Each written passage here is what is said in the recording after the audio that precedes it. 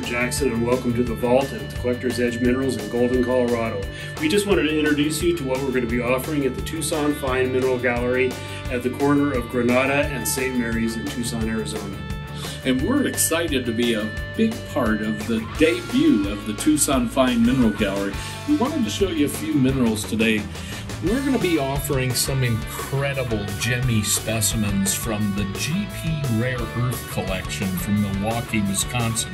Things like incredible Medina aquamarine specimens, emerald on calcite from the Coscuez, world class specimens. Additionally, we're going to be offering a great lot of brand new elbaite uh, from the uh, Malkhan pegmatite in Russia. These are great cranberry red tourmalines uh, with excellent luster. And we're going to have, like I say, about 25, 30 specimens from these localities. We also acquired a wonderful collection from a mining engineer in Florida recently. And we have a super gold from the Colorado Quartz Mine. And on the top shelf here, just a fantastic gemmy green tourmaline on smoky quartz matrix from this brand new collection. So you're going to love seeing these pieces. Additionally, we have a number of great pieces still out of the Keith and Mona Proctor collection. These golds, that Heliodor, just spectacular things. We're also going to have a wonderful selection of rhodochrosite from both the original Sweet Home mine workings and the Detroit City Portal. And uh, we'll have a great group of specimens to offer, some for the first time at this show. Additionally, we recently acquired a big lot of blue aragonite out of Helmand province in Afghanistan.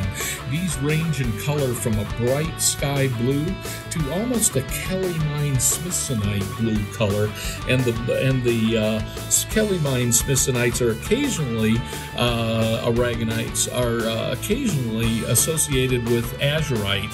So those are cool. Then we're also going to be offering some morganites from Minas Gerais, Brazil.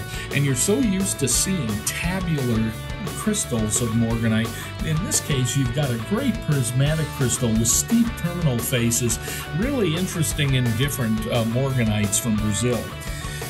Additionally, we're going to be offering lemon yellow wulfenite associated with bright yellow mimetite from the La Morita mine in Chihuahua, Mexico.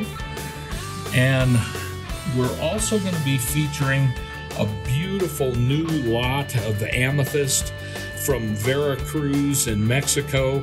And this just gives you a little bit of overview of the hundreds and hundreds of specimens we'll have at our new gallery. Really excited to see you in Tucson 2022. Can't wait.